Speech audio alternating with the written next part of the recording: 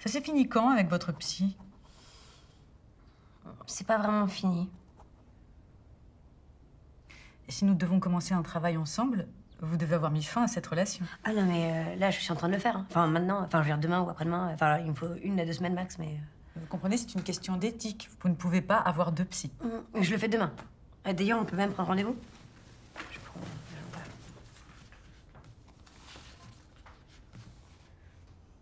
Lundi et jeudi, ça vous va Deux, ça fait quatre. Quatre quoi Euh, non, pardon, je veux dire, euh, c'est parfait, ouais, deux séances. euh, parfait. Lundi, euh, jeudi, du coup.